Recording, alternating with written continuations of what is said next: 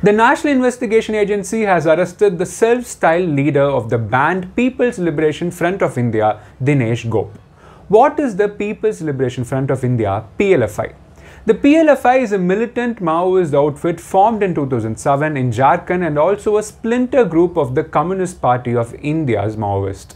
The NIA's Ranchi branch is currently investigating three cases linked to the PLFI, which was formerly known as the Jharkhand Liberation Tigers.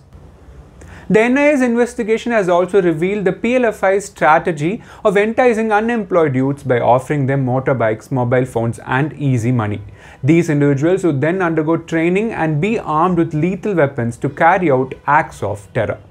Who is Dinesh Gope and why is he being arrested?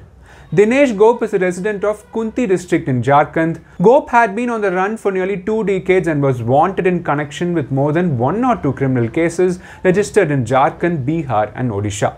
These cases involved serious offences such as murder, abduction, threats, extortion and fundraising for the PLFI. The NIA had offered a reward of rupees 5 lakh for any information leading to Gope's arrest in addition to the rupees 25 lakh reward announced by the Jharkhand government.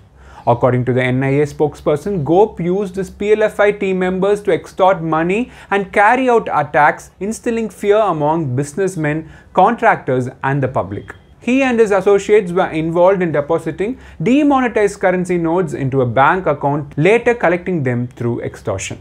The NIA has filed charge sheets against multiple individuals, including Gope. As part of the investigation, 14 bank accounts, 2 cars, cash, and immovable property worth rupees 1 crore have been seized.